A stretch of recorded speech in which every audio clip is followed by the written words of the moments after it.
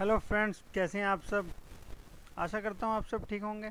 आज मैं आपको बताने वाला हूँ कि मैंने कौन कौन से एग्ज़ाम क्लियर किए हैं और जो मेरी स्ट्रेटजी थी वो क्या रही थी। मैंने खुद खुद अभी तक गवर्नमेंट जॉब के पाँच एग्ज़ाम जो हैं क्लियर किए हैं और पाँच अलग अलग फ़ील्ड के अंदर, तीन अलग फ़ील्ड के अंदर मैंने ये जो है एग्ज़ाम क्लियर किए हैं। आपको इस वीडियो में मैं रोल नंबर भी बताने वाला हूँ कि मैंने किस रोल नंबर से और कौन सी पोस्ट के लिए अप्लाई किया था और कौन सी पोस्ट मेरी क्लियर हुई है। इसके अंदर मैं आपको अगर बात करता हूँ तो मेरे पाँच एग्ज़ाम जैसा कि आप इसके अंदर देख सकते हैं कि मेरे टोटल मिलाकर जो है पाँच एग्ज़ाम अभी तक क्लियर हुए हैं और ये तीन अलग अलग फ़ील्ड में हैं। दो एग्ज़ाम जो हैं डिफेंस के अंदर थे और एक रेलवे जूनियर इंजीनियर के अंदर। और सीपीओ भी डिफेंस के अंदर ही था। तो आप इसके अंदर देख सकते हैं सी डी एस सेकेंड का जो मेरा टोल नंबर है एनडीए का आरआरबी जेई जो रेलवे के जूनियर इंजीनियर होते हैं, वो C P O S S C के 19-20 के मैंने दोनों एग्ज़ाम जो हैं वो क्लियर किए हैं। मैं आपको ये सब ऑनलाइन आकर भी दिखा सकता था, लेकिन लाइव ऑप्शन अभी मेरे यूट्यूब पर अवेलेबल नहीं है, इसलिए मैंने आपको इस तरीके से अपने बारे में बताना चाहा है। अगर मैं बात करूँ अपनी स्ट्रेटजी के बारे में, अगर आप भी इनमें से कोई भी एग्ज़ाम क्लियर करना चाहते हैं तो आप स्ट्रेटजी जो है वो बहुत मेन पार्ट प्ले करती है किसी भी एग्ज़ाम को क्लियर करने के लिए। अगर आपने स्ट्रेटजी नहीं बनाई है और आप सिंपली पढ़ते जा रहे हैं, पढ़ते जा रहे हैं तो आप उस एग्ज़ाम के अंदर 100 परसेंट स्कोर या 100 परसेंट अपना जो पोटेंशियल है वो शो नहीं कर पाएँगे। आप देख सकते हैं कि जो सी डी एस सेकेंड का जो मेरा एग्ज़ाम हुआ था, उसके अंदर जो मैं क्लियर हुआ था, वो तीन पोस्ट के लिए क्लियर हुआ था इंडियन मिलिट्री एकेडमी के अंदर और नावल एकेडमी के अंदर और ऑफिशियल ट्रेनिंग एकेडमी के अंदर। एयरफोर्स एकेडमी के अंदर जो है मेरा जो सिलेक्शन है, वो नहीं हो पाया था। लेकिन ऊपर की जो तीन पोस्टें हैं, उनमें मेरा जो सिलेक्शन है, वो हो पाया था अच्छे से। लेकिन किसी कारणवश मैं इस पोस्ट को ज्वाइन नहीं कर पाया। आज मैं आपको ये बताने वाला हूँ कि आप किसी भी एग्ज़ाम को अगर क्लियर करना चाहते हैं तो आपकी स्ट्रेटजी उसके लिए क्या होनी चाहिए? आप क्या गाइडलाइन फॉलो कीजिए जिससे कि आपका जो है एग्ज़ाम क्लियर हो जाए। मैं खुद एक गवर्नमेंट स्कूल से पढ़ा हुआ हूँ। और जो मेरा जो लेवल है वो सिर्फ़ एक एवरेज लेवल है, लेकिन मैंने जो है एग्ज़ाम के पैटर्न को समझते हुए उसका क्या सिलेबस है उसको एनालाइज करते हुए इन सब एग्ज़ाम को क्लियर किया है।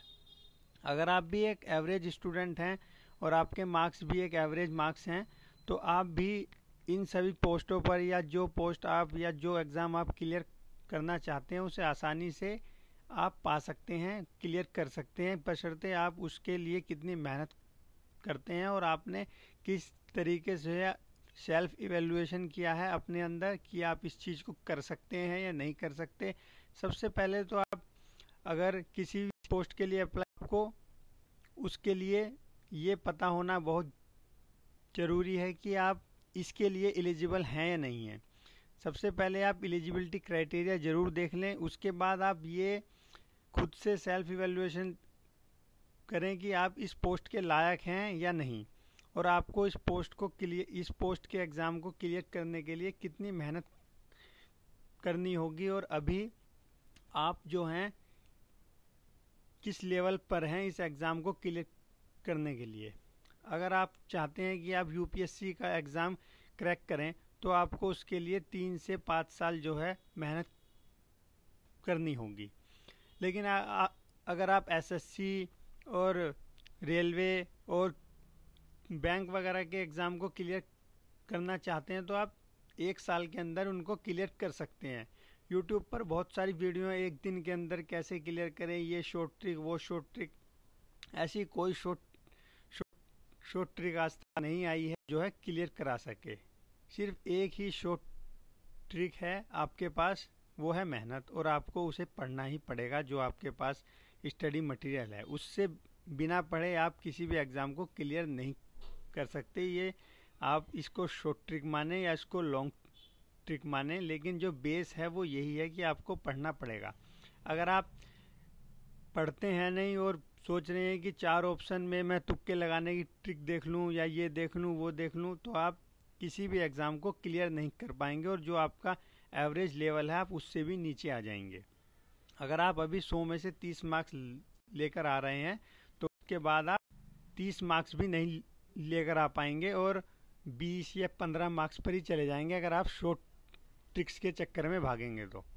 जितना भी आपके पास मटेरियल है math reasoning science G K उसके लिए आपको वही जो आपके पास स्टडी मटेरियल है, बार बार बार बार आपको पढ़ना पड़ेगा। इससे बेहतर और कोई ऑप्शन नहीं है कि आप उन उन स्टडी मटेरियल को बार बार पढ़ें, बार बार पढ़ें, जिससे कि आपको कॉन्सेप्ट क्लियर हो जाए और आप उससे रिलेटेड उस टॉपिक से रिलेटेड ज़्यादा से ज़्यादा जो है सवाल